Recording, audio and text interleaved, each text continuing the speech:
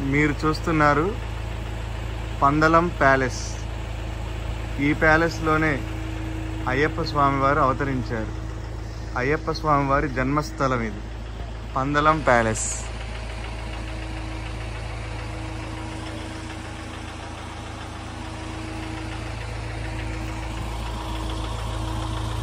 హరిహరపుత్రుడు అయ్యప్ప స్వామి ఈ ప్యాలెస్లోనే రాజుగారి దంపతులకు జన్మించారు.